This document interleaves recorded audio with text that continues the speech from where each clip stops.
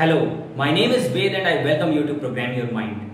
आज live wisdom series में मैं आपके साथ एक बहुत ही ज़्यादा पावरफुल प्रिंसिपल शेयर करने वाला हूँ। अगर आप अपनी ज़िंदगी में एक ब्राइट और ग्रेट फ्यूचर को क्रिएट करना चाहते हैं तो आपको इस प्रिंसिपल को समझना ही पड़ेगा और अपनी ज़िंदगी में इंटीग्रेट करना पड़ेगा। लेकिन इसके पहले कि मैं आगे बढ़ूं, मैं चाहता हूँ कि आप इस चैनल को सब्सक्राइब कर लें। अगर आपने नहीं किया है तो और आप बेल आइकन को भी प्रेस करें so that you can watch every video right और जाते जाते अगर इस वीडियो को आप पसंद करते हैं तो ज़रूर लाइक बटन पे क्लिक करिएगा so that it can reach many people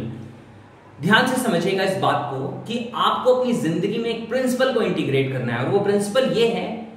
कि deliver more than what people expect from you यानी कि लोग जो आपसे एक्सपेक्ट करते हैं, आपको उससे ज़्यादा डिलीवर करना है।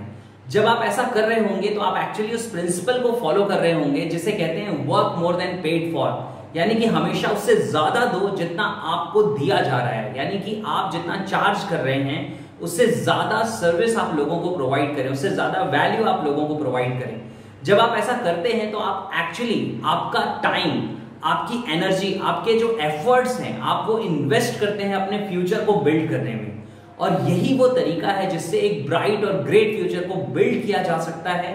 And this is what the leaders do यानी कि ज़िंदगी में जो लोग बहुत सक्सेसफुल हुए हैं, बहुत आगे बढ़े हैं, उन्होंने एक्चुअली यही करके अपने फ्यूचर को बिल्ड किया है right so keep learning and keep growing yourself and live the life that you deserve